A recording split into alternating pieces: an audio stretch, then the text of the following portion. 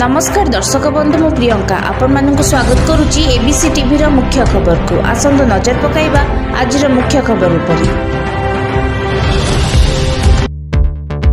ରାଜଭବନ ପରିସରରେ ଉତ୍କଳ ଜନନୀ ସଙ୍ଗୀତ ଉନ୍ମୋଚନ ରାଜ୍ୟପାଳ ପ୍ରଫେସର ଗଣେଶୀ ଲାଲ କରିଛନ୍ତି କଣ୍ଠଦାନ ଉତ୍କଳ ଦିବସ ଅବସରରେ ମୁଖ୍ୟମନ୍ତ୍ରୀଙ୍କ ଘୋଷଣା ଖାଦ୍ୟ ସୁରକ୍ଷା ଯୋଜନାର ଆଉ ଛଅ ମାସ ମିଳିବ ମାଗଣା ଅତିରିକ୍ତ ଚାଉଳ ଏ ବାବଦରେ ଏକାନବେ ଦଶମିକ ସତୁରୀ କୋଟିରୁ ଅଧିକ ଟଙ୍କା ଖର୍ଚ୍ଚ ହେବ ଆଜିଠୁ ରାଜ୍ୟରେ ଆରମ୍ଭ ହେବ ମର୍ଣ୍ଣିଂ କ୍ଲାସ୍ ନିର୍ଦ୍ଧାରିତ ସମୟ ମଧ୍ୟରେ କ୍ଲାସ୍ ସାରିବାକୁ ସ୍କୁଲ କର୍ତ୍ତୃପକ୍ଷଙ୍କୁ ନିର୍ଦ୍ଦେଶ ଦୋଷ ମାନିଲେ ମୁଖ୍ୟ ଖଳନାୟିକା ଶର୍ମିଷ୍ଠା ରାଉତ ଅପହରଣ ପରେ ମାନସକୁ କରିଛନ୍ତି ହତ୍ୟା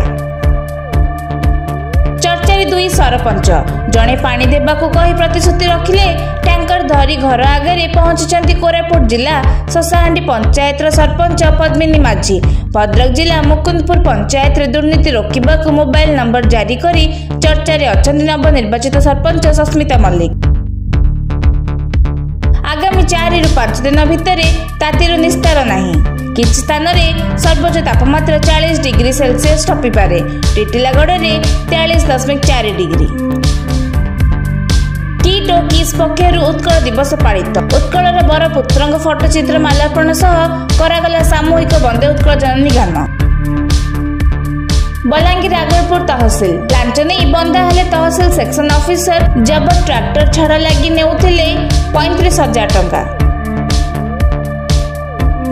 परीक्षा चाप एवं मार्क छात्र गुरु छु गुरुमन्त्रले प्रधानमन्त्री पण्यन र चतुर्थ थर शीर्ष स्थान अधिकार कला रेलपथ नुआ दिल्ली सर्वोच्च स्तर छुइला जीएसटी आदय मार्च रे एक लक्ष बया हजार तीन दिनिया भारत गस्तले आसिन्छ नेपाल प्रधानमन्त्री आज मोदी को मोदीको सहे सात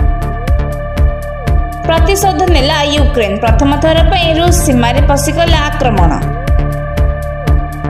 ନୂଆଦିଲ୍ଲୀରେ ରୁଷ ବୈଦେଶିକ ମନ୍ତ୍ରୀଙ୍କ ବଡ଼ ବୟାନ କହିଲେ କ୍ରେମଲିନ୍ ଚାହେଁ ଭାରତ କରୁ ମଧ୍ୟସ୍ଥା